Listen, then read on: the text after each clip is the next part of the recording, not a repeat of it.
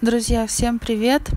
Сейчас на фоне распаковки этой посылки я расскажу, что делать после того, как вы получаете посылку с суккулентами от меня или от другого продавца, это не важно.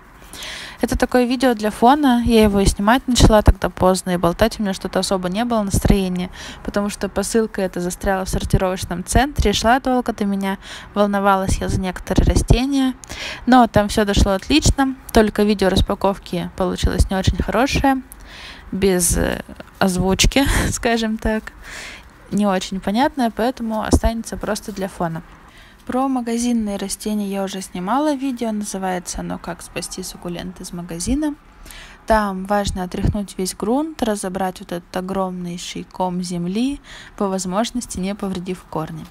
Если он был залит, а такое вполне возможно, потому что ко мне приезжают растения со склада залитые бывают, важно дать ему просохнуть, а потом только сажать. Но сейчас я рассказываю про растения из посылок, поэтому переходим к ним. Сразу скажу, что тут нет какого-то абсолюта, там делай только так и не иначе, кто-то делает чуть по-другому, чем я. Я расскажу просто, как удобнее мне. Растения с корнями я сразу, как только распаковываю посылку, сажаю и даю маленько прийти им в себя в грунте 2-3 дня, в сухом грунте. Важно расправить корни суккуленту перед посадкой, чтобы они были как будто такие вытянутые прямо по струнке. Иначе растение может не приняться, и оно будет там вредничать, болеть или что-то еще. Получается, что дня три, несколько дней, как приезжают растения, я их не трогаю. Сажаю и не трогаю, они маленько адаптируются у меня. А потом дня через три я немного капаю вокруг.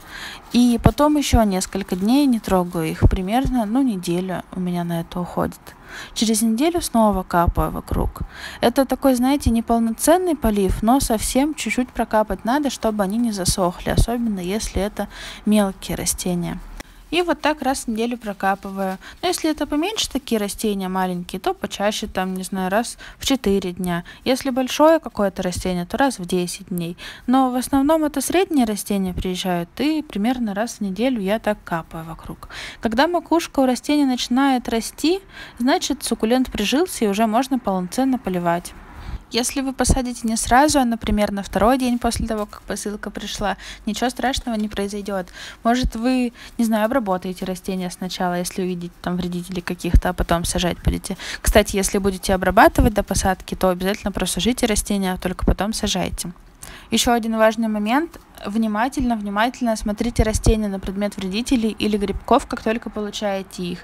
Вообще не важно, откуда они, от меня там или от других коллекционеров, или из супермаркета у дома. Это абсолютно не имеет значения, потому что когда у продавца очень много растений на продажу, одну букашку он может просто не заметить. Например, когда ко мне приезжают растения на продажу, я их обрабатываю от грибков, от букашек, я их подсушиваю, потом пересаживаю там и всякое такое. И перед отправкой вам я их тоже внимательно осматриваю, но все мы люди, и все мы можем что-то пропустить или что-то проглядеть.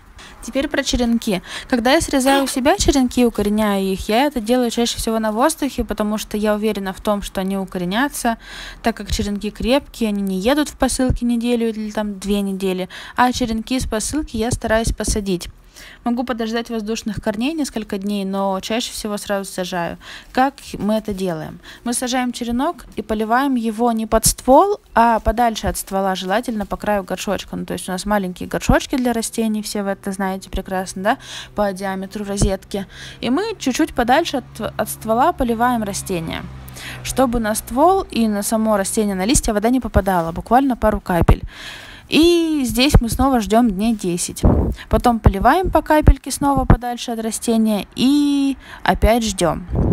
То есть в целом мы ждем примерно дней 30, поливая раз в 10 дней вокруг растения, не под корень, то есть растения мы не задеваем, а вокруг, чтобы там наросли такие крепкие, хорошие корни.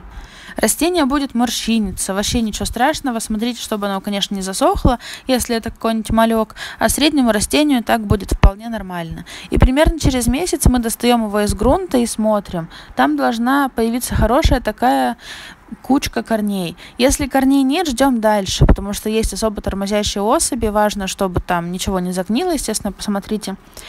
Но есть такие тормоза, для них я, кстати, снимала видео отдельное с разными способами корнения. Если корни уже есть, то мы сажаем на постоянную основу и поливаем нормально. И еще, если это ваши первые суккуленты, а если вы смотрите видео, это, это скорее всего ваши первые суккуленты, или там вторые или третьи, но скорее всего первые, пожалуйста, изучите матчасть. Посмотрите, как делать грунт. Грунт обязательно должен быть рыхлым, чтобы был доступ воздуха к корням суккулента. У меня есть видео про грунт, про полив, есть видео про свет, есть видео азы выращивания суккулентов. В общем, все есть на канале, смотрите, изучайте. И важно, что свет, грунт и полив — это такие три кита выращивания суккулентов. Ну, еще горшки правильные. Если хотя бы один из них подкачает, то растение либо будет не очень хорошо себя чувствовать, либо растения могут просто погибнуть.